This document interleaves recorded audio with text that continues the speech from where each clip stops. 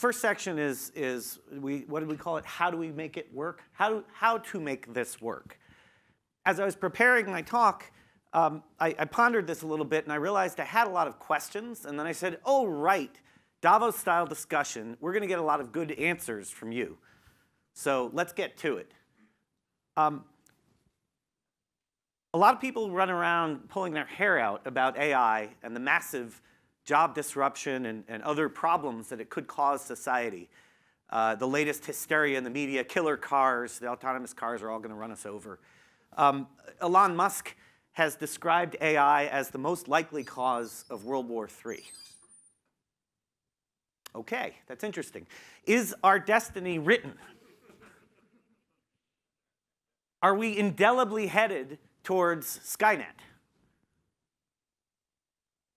We're seeing weaponization of AI already, right? So let me ask a pop quiz to the room. How many fake news impressions were delivered in the 2016 US presidential election, just through Facebook? 100 million? Any other guesses?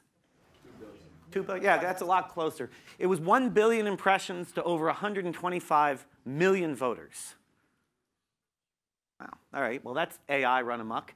Um, there's an AI running for the mayor of Tokyo, talking about bringing fairness and change. Can we even design an AI that could run a city? When we talk about AI, we, we seem to have lost sight a little bit of this question of is there a way to train in Asimov's three laws of, of robotics? He, Isaac Asimov came up with an idea many years ago about how to ensure that you know, we didn't have Skynet and that, and that you know, we'd have controls around these things. Um, but you know, we're designing machine learning systems that are designing machine learning systems that are designing machine learning systems. We don't even know what's going on inside those black boxes. So how do we embed this concept of human ethics and human society? So I have this conversation often with the governments that I, I work with, and, and you know, there's a question arising about regulating AI. The EU is contemplating three different regulatory bodies to govern the use of AI. Is this something we should do? Is this something we can do?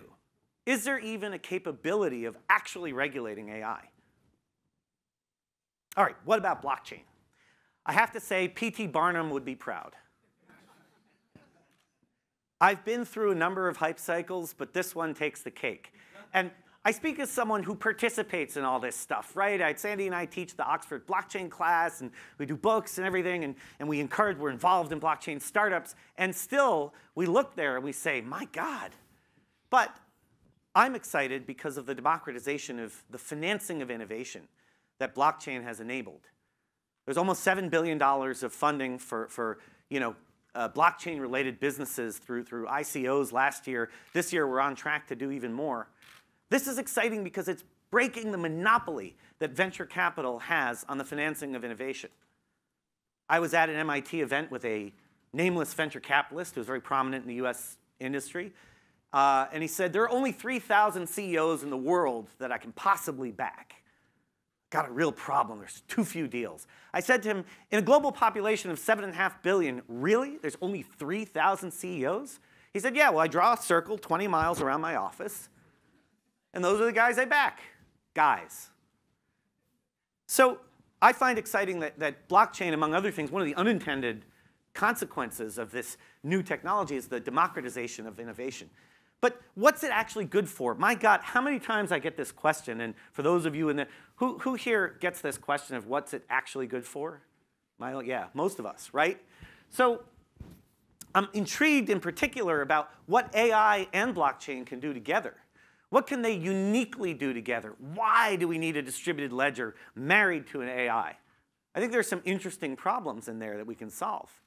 Colleagues in this room have come up with an idea around how to combine AI and blockchain, not just to cure cancer, actually to help revolutionize all drug discovery. Cut the cost of drug development by 50% and cut the time to bring life-saving drugs to market by 50%. Okay, some reflection. I am become death, the destroyer of worlds. Right? When Oppenheimer saw the results of the Trinity test of the atom bomb, he had an ethical awakening and he said, What is this technology that I have unleashed on the world? This, of course, is what Mark Zuckerberg said about his users. And he actually put it in writing. So I offer this compare and contrast of two different views on technological innovation and encourage you not to call your users dumb fucks, but instead to think about how we use this technology and how we can use it to make a better human society. I'm not worried about the singularity throwing us all out of work and we're all going to be on the street and maybe universal basic income will keep us from eating each other. It's technology that we have invented and we get to decide how we use it. So in this room today, I encourage you to think about how are we going to use these disruptive technologies to build a better society. Thank you.